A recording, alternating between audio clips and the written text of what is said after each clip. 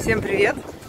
Решили сегодня на выходных поехать на выставку динозавров, которая приехала в Киев и будет здесь до 5 ноября. Вроде как классная должна быть выставка, динозавров должно быть много, и, насколько я понимаю, они должны быть в полный рост.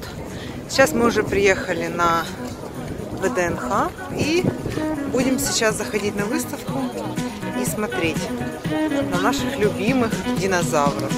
Живые динозавры, полный рост.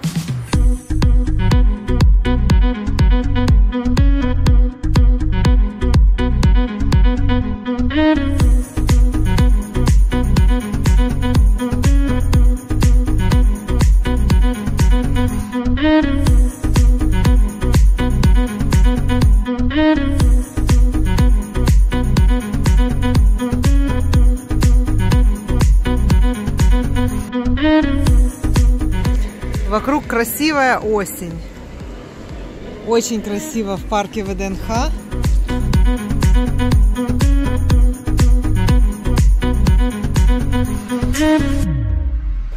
Входные билеты. Двое взрослых и один ребенок. Входной билет стоит 400 гривен. Это 15 долларов. Судя по всему, выставка не очень большая. Первый, кого мы видим, это аллозавр.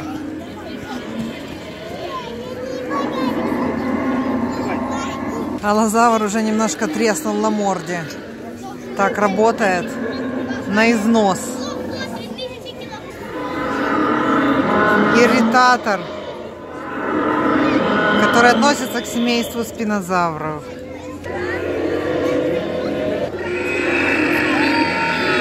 Почему-то Карнотавр молчит и не издает никаких звуков.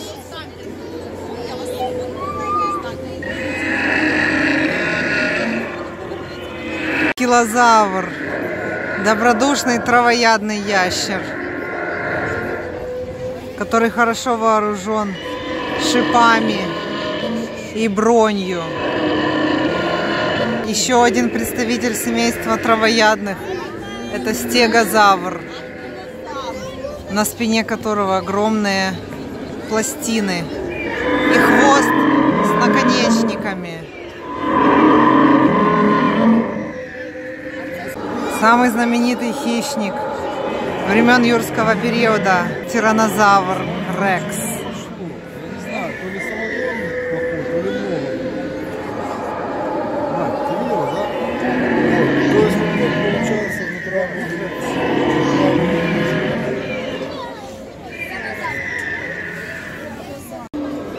Очень большой птеродактиль.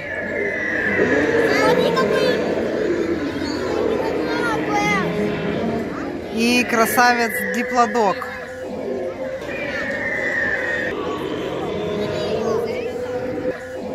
Конечно, он не в натуральную величину, но все равно видно, что он очень большой. Большие мощные ноги. А здесь показывают, как на игуанодона напал велоцираптор. Еще один хищник, знаменитый с фильма «Парк юрского периода». Они были относительно небольшими и работали в стаях.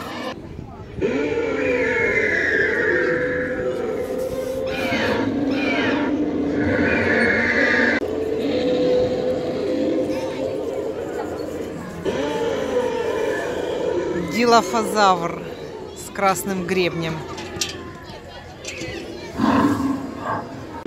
Трицератопс, который был королем травоядных, такой как Тирекс среди хищников.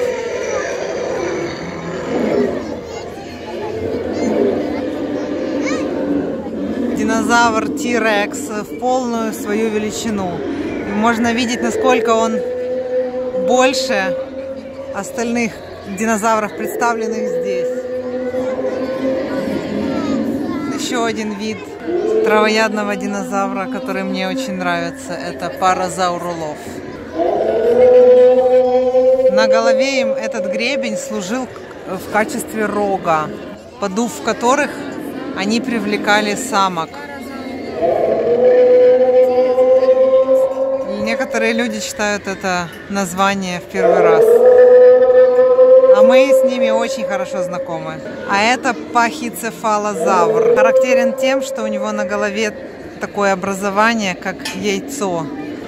Ученые много думали, для чего им нужно это образование. Было предположение, что самцы, когда дерутся между собой, сталкиваются лбами. Но потом анализ показал, что это абсолютно полая полость.